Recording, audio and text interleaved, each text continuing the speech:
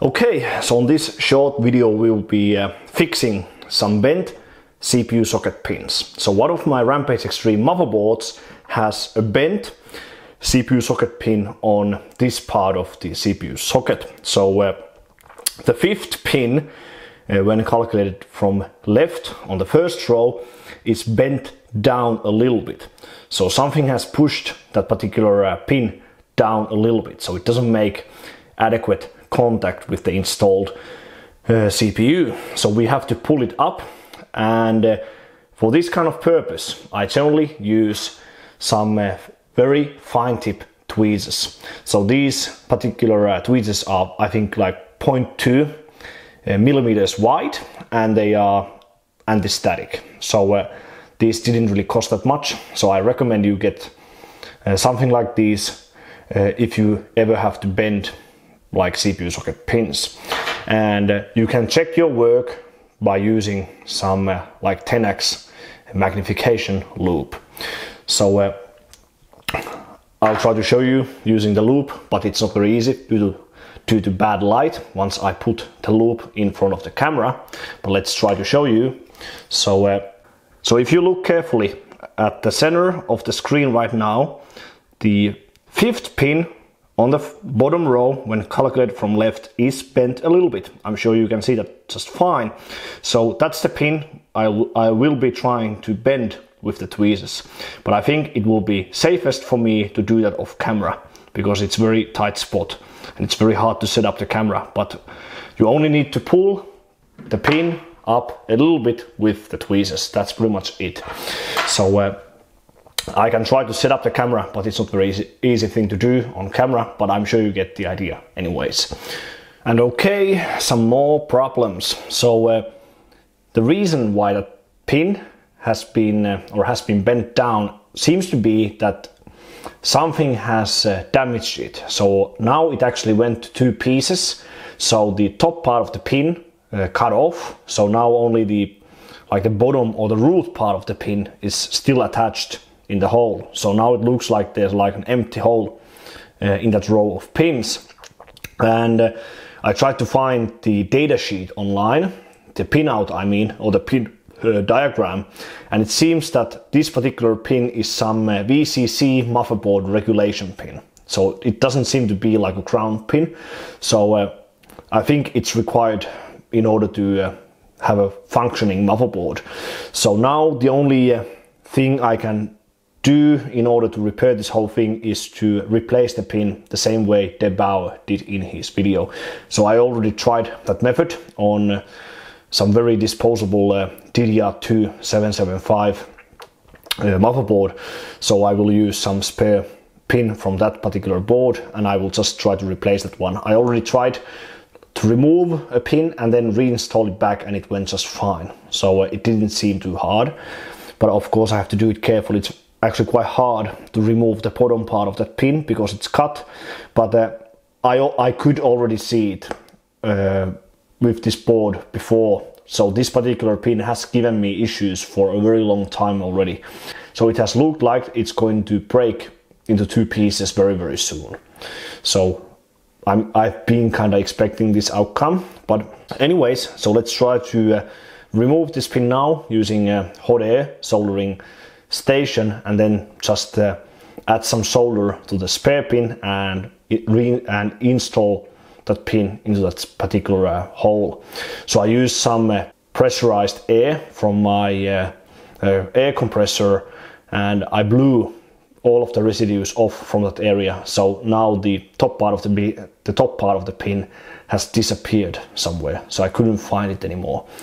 So yeah, not my best day, but have to remember that this motherboard is already uh, almost 13 years old. So if you uh, mount CPUs dozens or even hundreds or thousands of times, you use a lot of pressure from, I mean, with your cooling solutions like water blocks, LN2 pots, it's obviously going to stress the pins after a while, or at some point at least.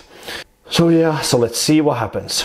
Okay, so now the uh, pin has been pulled off from the socket. So I recommend you grab the particular pin first before applying any hot air. So I used the tweezers to grab that particular pin, then I just brought the uh, hot air uh, soldering uh, gun with my left hand and uh, I didn't hit the pin spot too long and it was very easy to grab the pin off from the socket. So I used uh, quite medium like uh, airflow and 330 degrees uh, Celsius on the hot air part of the soldering station.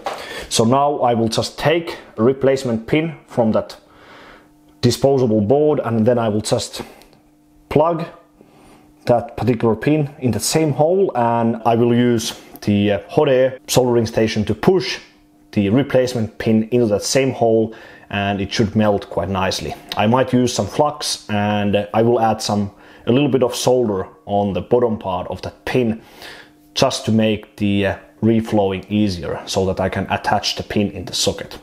So if this goes well, if this motherboard turns on fine, I will try to show you the exact process with that disposable board because I really want to get I really want to get this uh, done right.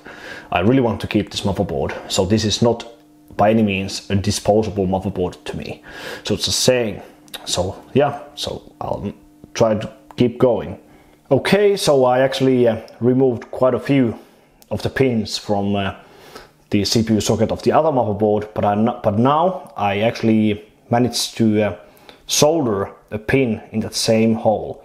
It's turned a little bit, so the uh, line isn't perfect, but I think it should hit the bottom of the CPU surface and make contact with the corresponding uh, golden contact pad on the bottom side of the CPU.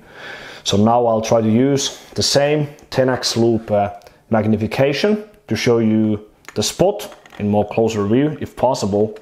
So as you can see, so 4, 5, it's turned like a little bit, so it's not uh, perfectly in same uh, like orientation with the, with the other pins, but I think it should uh, touch the pad just fine. So I need to do like a test clamp and see if it bends like properly with, with the other pins. So we'll see. Okay, so I just finished the whole process on the Rampage Extreme, so I'll try to show you the exactly the same method on this uh, disposable uh, Asus DDR2 775 board. So uh, after removing the broken pin from the Rampage Extreme, we have to remove the replacement pin we wish to use on the board we want to repair. So first I will uh, just locate the pin I wish to remove, which I will be using on the board I will be trying to repair obviously. So uh, the way I do this is I grab my tweezers and then I grab and hold the pin I wish to remove, like for example one of these over here and then I will just bring in the hot air from the hot air soldering station I mean and I will just bring it with my left hand and I will uh, put some uh, heat towards the spot where the pin is for a few seconds and then it should come off quite easily. So uh, that's pretty much how you do it.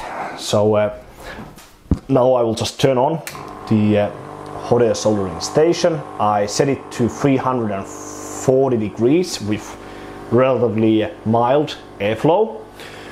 So now I will just gra grab the pin I wish to remove.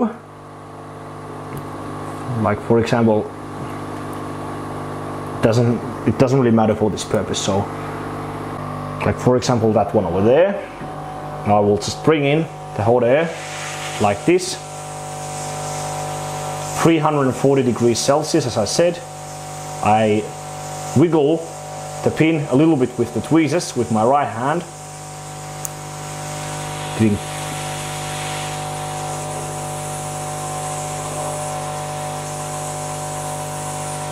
some of these pins don't really come off easily so it's a bit weird. Just twiggle a little bit. And now it come off. Then I just put the hot air soldering station gun in its spot and here is the pin itself. It's a little bit hard to see but that's how it looks like pretty much so it's actually quite long the, the part of the pin that goes inside the uh, socket is actually quite long. So now I will just turn off the uh, hotter part of the uh, soldering station and I will turn on the actual uh, soldering iron as I will be putting I will be putting some solder on uh, the bottom side of the pin which, which will go inside uh, which will go inside the CPU socket. So now I'll just take my uh, soldering iron apply some solder to it. Like so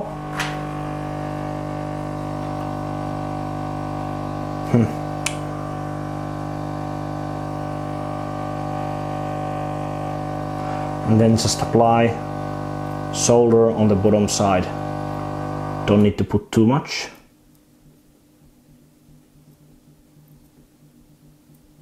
But I'm sure you get the basic idea what I'm doing. So that's pretty much how it looks like now. So that's so the pin is ready to go inside the board. So now I will turn off the uh, soldering iron once again and I will turn on I will turn the camera towards the socket once again. That's the best like spot where I can get you guys to. And now I will uh, already turn on the uh, hot air once again. And now it's very important to get the pin the correct way around in your tweezers so that you can actually push the pin inside like one of the holes. So now I'll just try to push the pin inside like somewhat.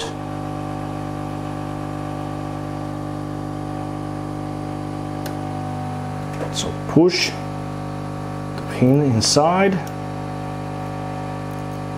So that yeah this one is going in much easier. So now it's already like half the way in. We will grab it with the tweezers and apply some heat and push the pin in like so.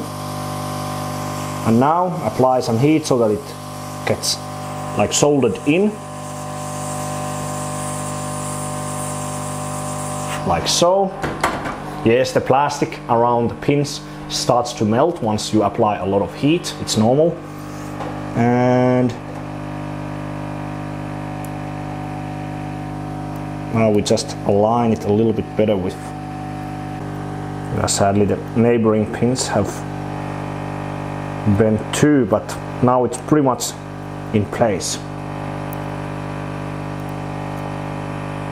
Yeah now it's now it's pretty much in place. So this is how I actually did it with the Rampage Extreme. So uh, you might get some benefit if you apply some flux in uh, the socket but you need to uh, just make sure you align it properly with the tweezers. I'm pretty sure you got the idea what I did with uh, this whole, uh, I mean in this whole uh, process. So now let's see if the board works and uh, make a conclusion for this video. Yeah, and now the moment of truth. I just installed the Rampage Extreme on top of this Dimastech bench table, one stick of power chip based DDR3 memory, Galaxy 710 GT and a Kingpin Cooling F1 Dark CPU pot on the CPU as a simple heatsink. So I just cleared CMOS and let's press the start button. Now check the lights if they come. Boom, looks like a proper, uh, like a normal post process. So we should have the BIOS screen coming up. Yep, Republic of Gamers. So funny, this is actually the first time I ever repaired a damaged CPU socket like this. So F1, check main, system information, Rampage Extreme 1301 BIOS, E6600 CPU, and hardware voltage, VCore 3.3 by 5 volts 12 volts all normal and temperature yeah they look all right So let's turn off the whole thing. So yeah, so every day you definitely learn something new. So uh, it, it, it didn't go as I planned. So I was originally just going to bend back a bent CPU socket pin, but apparently it got broken. So it got broken into two pieces. I removed the top part, the broken part from uh, the CPU socket. I removed the broken pin. I took a replacement pin from the disposable board over there on the other table and I just installed that replacement pin into the empty hole on the Rampage Extreme and now it works. So yeah, so damn happy if it just works and if it works well even on LN2. So I'm not like fully sure was the pin out or the pin diagram that I found online absolutely correct, but uh, I'm pretty sure uh, it is because I tried to measure that same uh, pin on the other board with a multimeter and it's not. It definitely didn't seem to be like a ground pin, so uh, it might have like a special purpose. So I'm pretty sure the board wouldn't have worked if there wasn't a pin in that empty hole, so to say. So yeah, so uh, if you like to see this video, then give me a thumbs up. I I can link that particular uh, soldering station I've been using for my simple uh, soldering jobs. It's not that expensive, it's quite cheap on eBay, so uh, you can happily grab that one if you need a simple uh, like two-in-one soldering station. So both the iron and the hot air. But yeah, so damn happy with the outcome as long as it lasts and yeah, the Rampage Extreme Team Finland edition is still alive. So thanks for watching and I will see you on the next one.